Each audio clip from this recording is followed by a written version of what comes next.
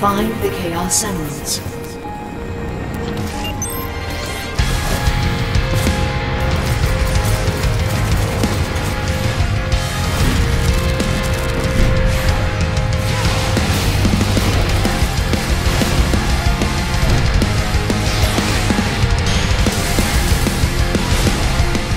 Tear down the walls between dimensions.